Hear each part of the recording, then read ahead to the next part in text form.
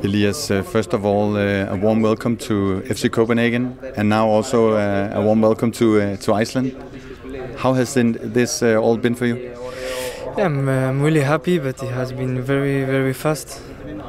And but I'm very happy, and that's the, the, most important. And now you're an FC Copenhagen player, and actually you're ready to play Champions League qualifications tomorrow. How do you feel about all this? I'm, I'm really happy. Huh? I am exciting to, to, to play with my, my new team, the, the new teammate, and uh, to yes.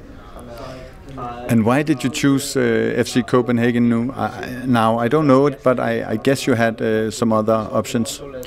Yeah, I choose because for me the it was the, the best option uh, I have for my career. Uh, for me, was the best step for my career, so that's why I choose uh, to, to come here. And I'm really happy and looking forward to, to start the season.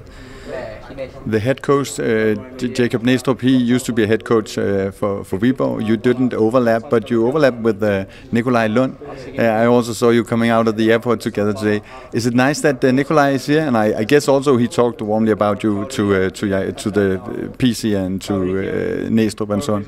Yes, of course. It's, it's, always nice to to have someone to who know who knows me better because he know me better than all the people in the club because uh, he was my coach the, the last season so he will help me a, a lot and I'm really happy to to meet him, to meet him again. In a club like FC Copenhagen, there's a lot of pressure uh, you, to win the games, to win the cups, uh, to qualify for Europe and so on. Uh, are you ready uh, for that?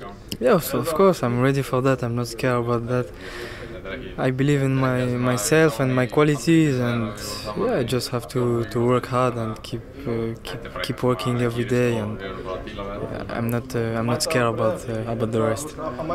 And tomorrow it's a small stadium in Iceland, but the next week you'll play in uh, in Parken in a European uh, qualifications game. Uh, what do you think about that? I'm I'm exciting. Huh?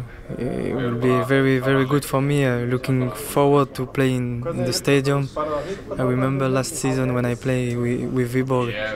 It was it was amazing, and yeah, I am really happy to, to be here now. I'm looking forward to playing in the stadium in front of the fans and uh, everything. Yeah, unfortunately, uh, you played against us. We remember that.